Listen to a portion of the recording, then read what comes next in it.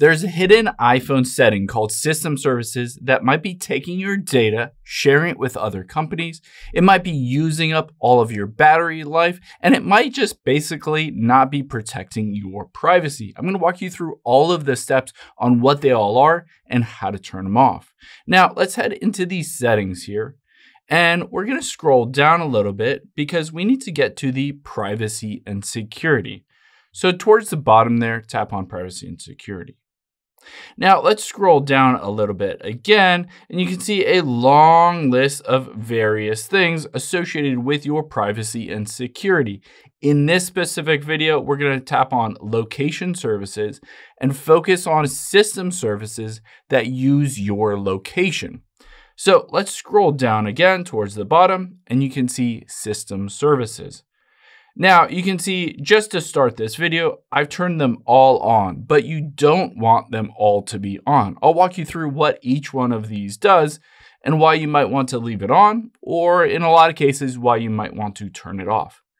You can see at the very top is alerts and shortcut and um, automations. Now, essentially, if you're not using alerts or shortcuts, there's no real reason why you need that to access your location. In every one of these categories, it's basically your iPhone allowing whatever setting to use your current location. So you can swipe down from the top right here.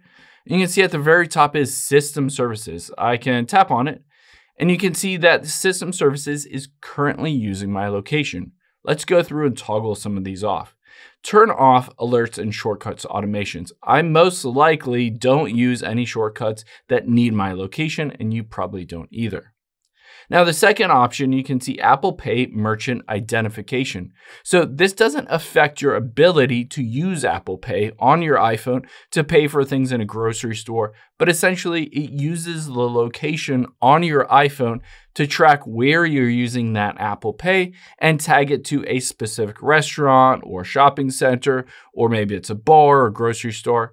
Again, this doesn't affect your ability to use Apple Pay, but essentially it just gives the merchant more information and it says basically it helps to tag you are at Whole Foods and you use Apple Pay and it'll tag it as Whole Foods. But again, you don't necessarily need that. Now, the third option, let's move on to cell network search. So this sounds like something that you might want to turn on and leave on. Essentially, this sounds like if you have that turned on, your iPhone will search for the nearest cell tower to connect to to give you better signal. But essentially, that's not what it does. This essentially tracks your location and it doesn't necessarily add any additional benefit to connecting to the closest tower because ultimately what AT&T, Verizon, and Sprint, T-Mobile does is it just triangulates your cell location using your signal on your phone. It doesn't need your location services to essentially share that location. This is to basically do a bunch of other stuff that will share your location with a bunch of cell networks. I again would turn this off. You can see the fourth option here is compass calibration. If you use the compass a lot, you might want to calibrate that compass, but I barely ever use my compass and you can see that little gray arrow indicating that it has used my location even though I haven't opened up the compass. So again, I don't really want that on. Now, the next option is device management. If a company that you work for or a school or something manages your iPhone, has a management profile on your iPhone, it might ask you to basically share your location with that device management. But again, I would protect your privacy and turn that off unless it's absolutely needed or when they do uh, install that device management on your profile, maybe potentially that is grayed out. But if you can turn that feature off, again, you don't necessarily want to share your location with some other company, a school, somebody that is essentially controlling your iPhone. Now, the next option is one that I would recommend leaving on emergency calls and SOS. Now, what this means is if you're somewhere where you don't have good signal and essentially you're trying to connect to your phone to a cell tower to make a call in an emergency, you probably do want your location turned on because essentially that will allow your phone to connect to a satellite somewhere. It'll allow you to make a call, especially if you need help, if you need 911 or emergency services.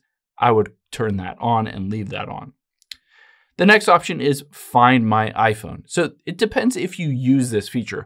I use this feature to share my location with some family members. If you don't necessarily use this, you could always turn it off. But in my case, I'm just gonna leave this on because again, I do share my location with my family members and I want them to be able to track my location just in case they need to know where I am. So this is dependent on how you use your iPhone. Let's move on to the next option, this HomeKit. You can see HomeKit here, again, has used my location. I don't have anything, I don't have any products or apps that use Apple HomeKit. Again, I don't know why it used my location. I'm gonna turn that off. The next one is in-app web browsing. So again, if you're in an app like Instagram or Facebook and it pops up with say a Williams Sonoma ad or something like that and you click on it and it opens up the web browsing. So that is in the app, in the Instagram app and your web browsing essentially when you click on an ad it'll pop up with kind of their website. Again, why would you want to share your location in that instance? Most of the time that's just allowing that company advertising to target you and essentially draining your battery life while you don't necessarily get any additional benefits. I would turn that off. Now, the next one is motion calibration and distance. So, if you want to calibrate the motion on your iPhone, maybe you use your iPhone when you're out jogging or walking and you want it to be able to track essentially that activity you could essentially turn this on, but a lot of people have Apple Watches or other devices, Fitbits and stuff that will track their location and their activity as they run or cycle or swim or something like that. So again, this isn't really needed. I would recommend turning that off. The next one, networking and wireless. This essentially helps you to be able to connect from your iPhone to a Wi-Fi signal nearby or a cell tower. This actually is something that I would recommend leaving on. You can see networking wireless has used my location recently. Now, if I turn this off, one key thing is it says at the very bottom, it says location for networking wireless, turning off location and wireless may affect your Bluetooth, Wi-Fi, and ultra wideband performance.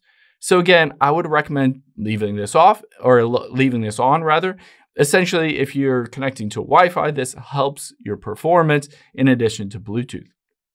Now, the next option, let's go down, is satellite connection. Again, this is in case there's an emergency and you need to connect your phone to a satellite somewhere so that you can make an emergency SOS call this is something that if it's on and you need it, you really need it. Obviously, there's an emergency. I would turn this on and leave it on. The next option now, let's get to setting time zone. Now, if you go a bunch of different places, say you're traveling from the East Coast to the West Coast to Europe really frequently, maybe your time zone just changes a lot. But in my case, it doesn't change all that often, and I can always just go in there and manually update it if I wanted to. I don't need my iPhone to constantly be checking what time zone I'm in, just be using a battery life and sharing my location. The next option is share my location. Here you can see that is turned on. Again, I share my location with family members. If you do share your location with family members, you can leave this on. But essentially, if you don't share your location with various family members or friends or whoever, you can turn that off. Let's go to the next one. So you can see suggestions and search. Again, I don't need my iPhone to know my location to suggest various things. Or when I search on Google, again, this is, I feel, an invasion of my privacy and not something that I find great value in. It doesn't add a lot of value to my everyday life. So I turn that off. You can see system customization. This essentially allows your iPhone system, the iOS operating system, to tweak and kind of modify various things dependent on your location, your time zone, where you're at uh, your home or an office or something like that. Again, I don't necessarily need that. I would turn it off. Wi-Fi calling is something that I use. I have really bad signal in my home. So essentially what that allows me to do is use Wi-Fi when I make a call in addition to my cell network. So I would recommend leaving this on so that essentially you can have that turned on to help make better calls. Now let's review all of these. So again, this is how I would recommend all of those settings turned on or off, depending again on your preference on whether you share location, etc.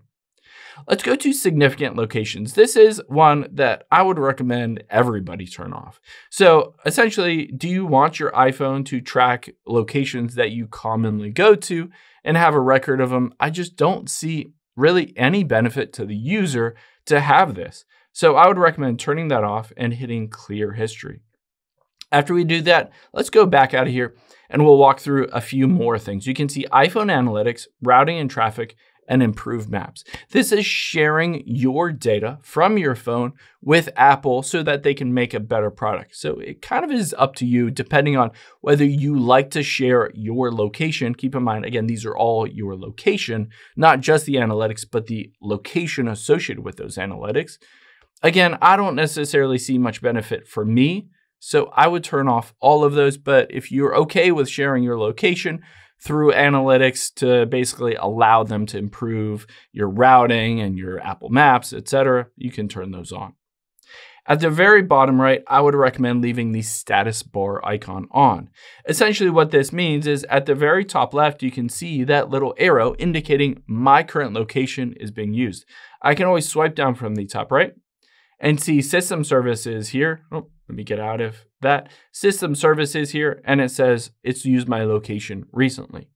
Now, keep in mind, if there's a gray arrow, that's basically it's used your location within the last 24 hours. And if it's a purple arrow, it's using your location right now. So it's just a good thing to be able to find and see is something currently tracking my location. And if it is, you can swipe down from the top right and you can always see what is using our location and decide after that fact whether you want to turn that off or whether you're okay leaving it on. Now, we've been through a lot of these, all these system services that I would recommend turning off. You can always go back here, and I would also recommend looking at all of these apps and essentially go through all of these apps to decide is that an app that I'm okay sharing my location with, or do I prefer not to share my location with? So you can see various things like OpenTable. If you don't want OpenTable to know your location, you can always hit never here. Or if you're okay, you can choose while using the app. I would recommend on any of these, if it ever asks to always use your location, some of them will say always use your location. I would recommend never turning that feature on. There's no reason why you need any app to always use your location, but you can use some while using the app, for instance, like Google Maps, that obviously needs your location to work and function properly. So there's certain apps that I always turn on and have precise location turned on to help me navigate to wherever I'm going. I hope this all helped. If it did, hit the subscribe button down below. Really helps me out. Thanks, guys.